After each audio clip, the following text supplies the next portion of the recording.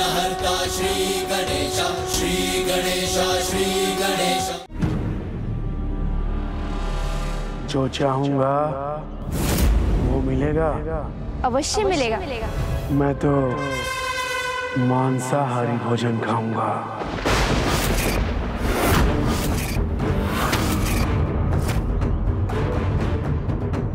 लगता है तुमने सुना नहीं मैंने कहा मुझे मांसाहारी भोजन चाहिए। भैरव सब जानता है। कुछ भी छिपा नहीं है मुझसे। कोई भी भूखा गया तो ये भंडारा अपूर्ण रह जाएगा। भक्त श्रीधर का, क्यों? भक्ति से कुछ भी पाना संभव है, किंतु जिसके भीतर पाप हो, वो पाता नहीं। केवल होता है। उचित और अनुचित का भेद समझिए। इसमें उचित अनुचित क्या है? जिसको जो भाता है उससे वो भोजन खाने का अधिकार है। तुम ही ने दिया है। तो मुझे क्यों नहीं? साधक हो तो इतना भी ज्ञान नहीं। घर किसी का भी हो शाकाहारी का या मांसाहारी का। भंडारे में सात्विक भोजन ही भोग होता है। किसने कहा मैं यहाँ सात्विक प्रसाद भोग खाने आया हूँ?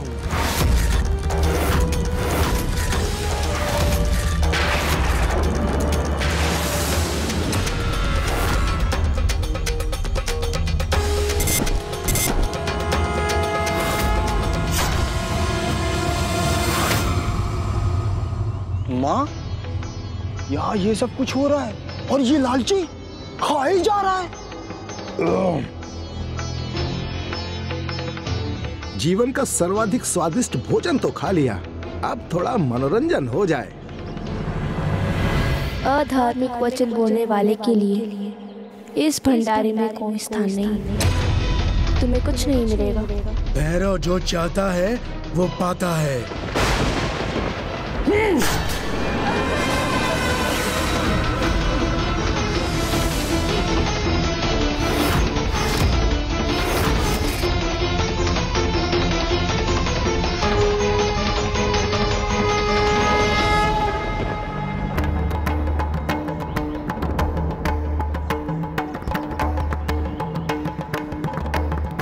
स्वयं पर इतना ही विश्वास है। तो इस प्रकार भेष बदल कर आने की क्या आवश्यकता थी? साहस है। तो अपना वास्तविक स्वरूप दिखाओ यहाँ सभी को। और यदि तुम अपना मूल स्वरूप उजागर नहीं करना चाहती तो ना करो। भैरव कर देगा।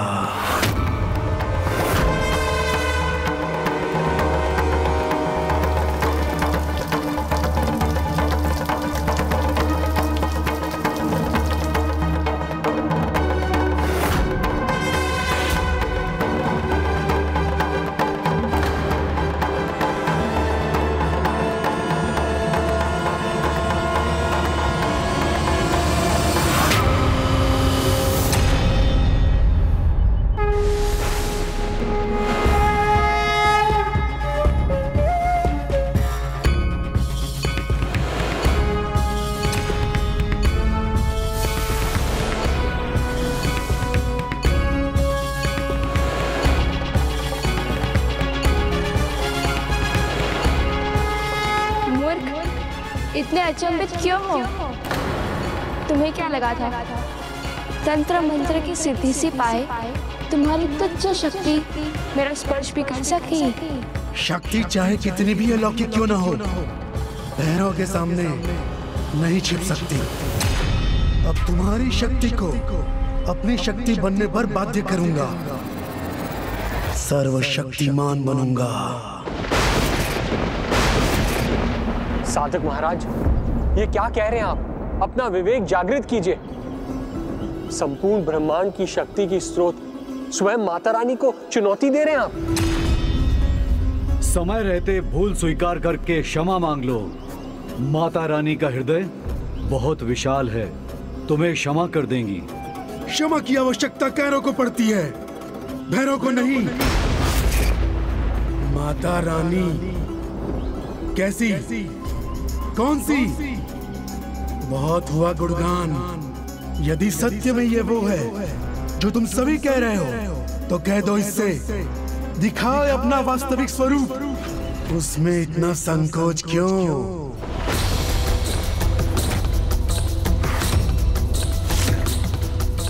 मूर्ख क्या तुम में इतना सामर्थ्य है कि तुम मेरा वास्तविक स्वरूप देख सको? सामर्थ्य है या नहीं ये तभी ज्ञात होगा। जब तुम अपने दिव्य दर्शन दोगी।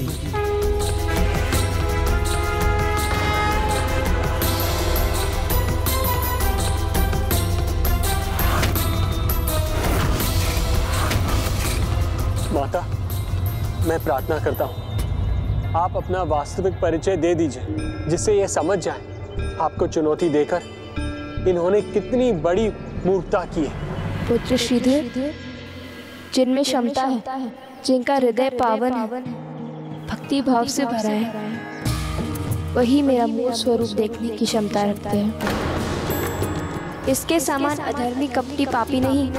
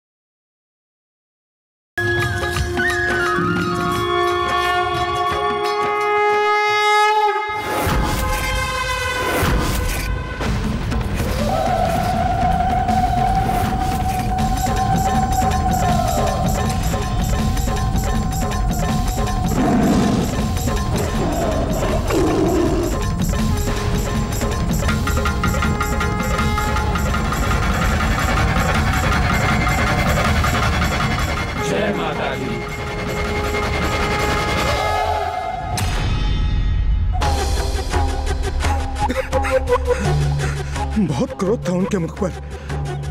बहुत क्रोध था। भक्त ने भक्ति का प्रमाण दिया तो माता ने भक्त को अपनी ममता के आंचल से ढककर उसे आशीर्वाद और उसके साथ होने का प्रमाण दिया। यही नहीं, भंडारे में आए सभी को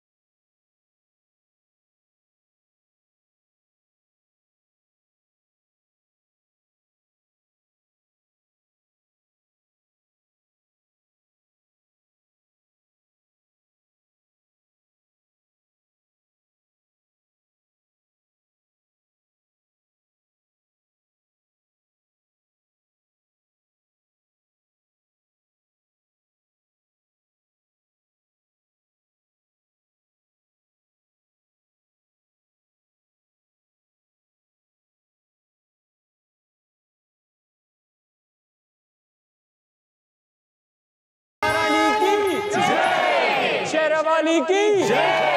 जय माता की। जय माता की। जय माता की। सारे बोलो। जय माता की।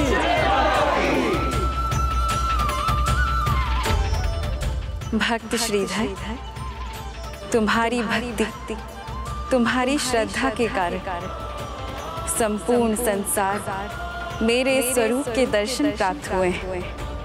इसीलिए आज मैं तुम्हें आशीर्वाद देती हूँ। तुम्हारी भक्ति और तुम।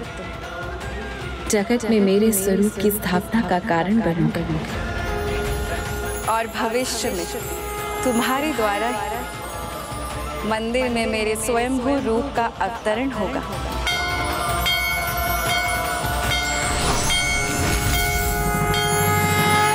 बस।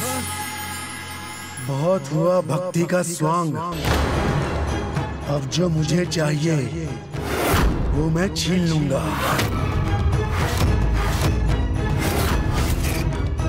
अहंकार ने तुम्हारे विवेक को हर लिया है मूर्ख।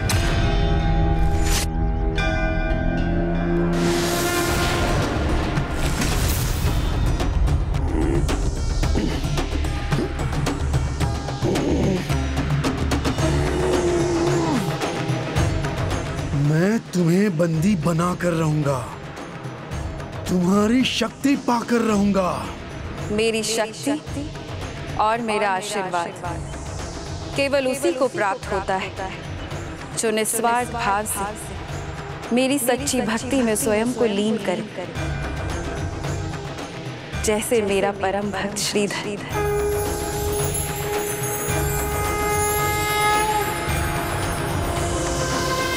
मेरी शक्ति का अंश मात्र तो क्या? तुम्हारे जैसे दुष्ट को विचार रखने वाले। मेरे निकट भी नहीं आ सकते।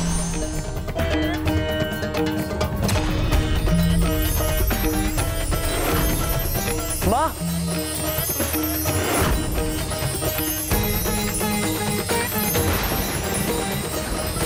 माँ।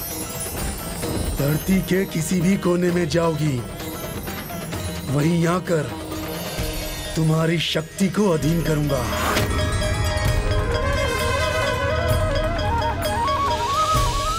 माँ आपके इस भक्त की भक्ति अभी तृप्त नहीं हुई। अब ये भक्त भक्ति यात्रा करेगा। माता रानी की। जय। माता रानी की। जय। जय माता की। जय माता की। जय माता की। जय माता की। जय माता की। जय माता की। प्रकार माता वैष्णवी ने सभी को दर्शन दिए और फिर वो वहाँ से चली गईं।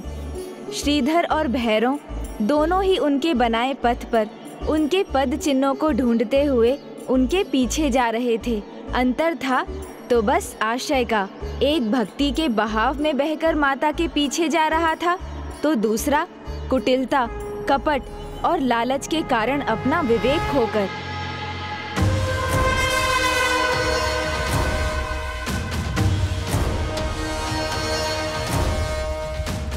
किंतु माता रानी ने तो पहले ही कहा था कि माता उन्हीं को मिलती हैं, जो श्रीधर के समान पावन भक्ति के साथ उनके पास जाते हैं। उनको नहीं, जो भैरों के समान क्रूरता और कपट से माता तक पहुँचने का प्रयास करते हैं। कहीं मैं निर्धन तो नहीं हो गया? ऐसा नहीं होने दूँगा मैं। ऐसा कभी नहीं होने दूँगा। मे, मेरी स्वर्ण मुद्रा है। मेरी स्वर्ण मुद्रा है। कहीं नहीं जाने दूँगा। कहीं जाने नहीं दूँगा।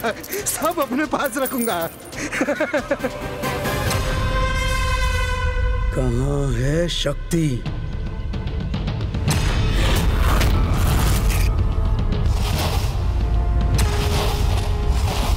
मुझे कहाँ कहाँ ढूंढोगे भैरव संसार के किसी भी छोर पे चली जाओ। वहीं से ढूंढ कर निकालूँगा तुम्हें। तुम्हें अधीन कर अपनी साधना पूरी करूँगा मैं। भैरव पाएगा तुम्हारी शक्ति को। सर्वशक्तिशाली बनेगा। जय श्री राम। प्रणाम माता।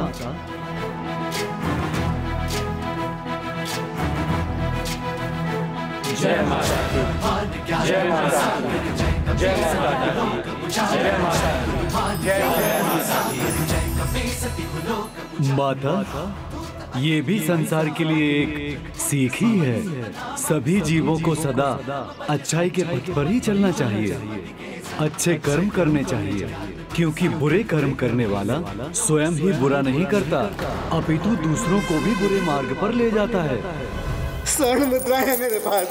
संभाल के रखूँगा। एक को भी जाने नहीं दूँगा। मेरी स्वर्ण मुद्रा है।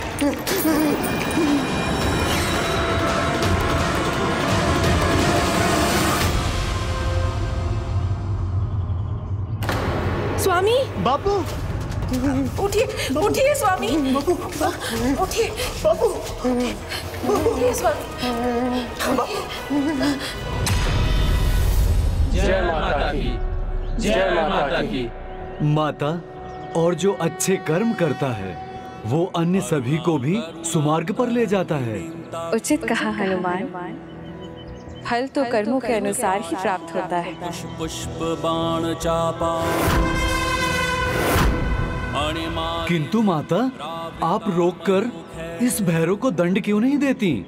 माता आपको भला इससे दूर जाने की क्या आवश्यकता है? आपके तो एक ही संकेत पर ये भस्म हो जाएगा। भक्त शिरोमणि हनुमान, समय रहते यदि कोई अपनी दुष्टता त्याग कर, भलाई की ओर, अच्छाई की ओर बढ़ जाए, अपनी भूलों का, अपराधों का प्रायश्चित कर, सुधर जाए तो उसे भी दूसरा अवसर अवश्य दिया जाना चाहिए। यही कर रही हूँ मैं। जब तक उस दुष्ट के पापों की गागर भर नहीं जाती। मैं उसे सुधरने का अवसर अवश्य दूँ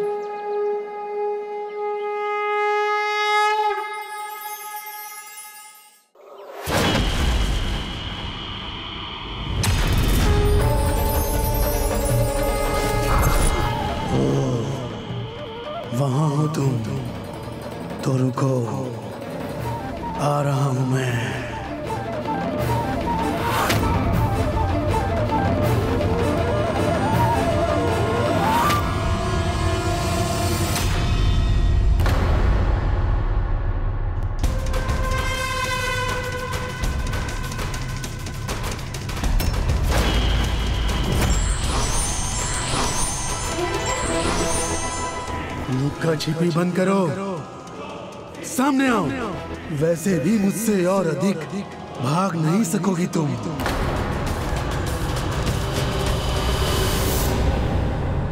जय माता की।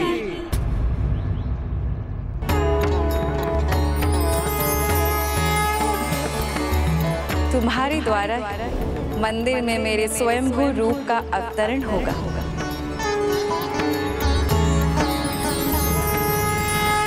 कैसा दुर्भाग्य आमंत्रित कर लिया है आपने स्वामी अपने खोटे कर्मों के कारण। माता के दर्शन पाकर भी उनके दर्शन आशीर्वाद से वंचित रहे आप। ना ही माता की शक्ति को समझ सके आप और ना ही श्रीधर की सच्ची भक्ति को। केवल माया के चलावे में लीन रहे हैं आप। बापू। न माया आपके वश में है और न माता का आशीर्वाद है आपके पास। श्रीधर मुझे श्रीधर के पास ले चलो हाँ हाँ स्वामी अवश्य। माता के पदचिन जय माता की। जय माता की। अब माता के मंदिर की स्थापना के लिए मैं यही तपस्या करूँगा। योग समाधि में बैठा रहूँगा। जब तक माता रानी स्वयं मुझे अपने पास बुला नहीं लेती।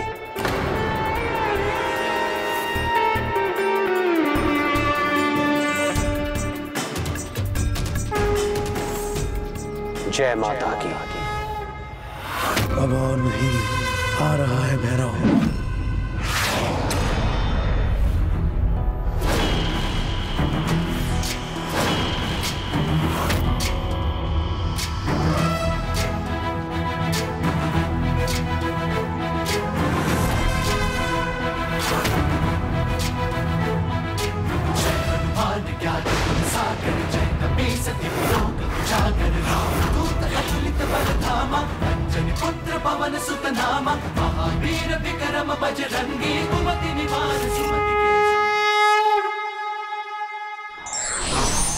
समय रहते व्यक्ति को अहंकार का त्याग कर सत्य को पहचान लेना चाहिए। अन्यथा वो स्वयं की ही हानि कर सकता है। भैरो तुम सत्य को देखो पहचानो उन्हें। महाशक्ति है वो। मेरे मार्ग से हट जाओ अन्यथा परिणाम तुम्हें ज्ञात है जय श्री राम।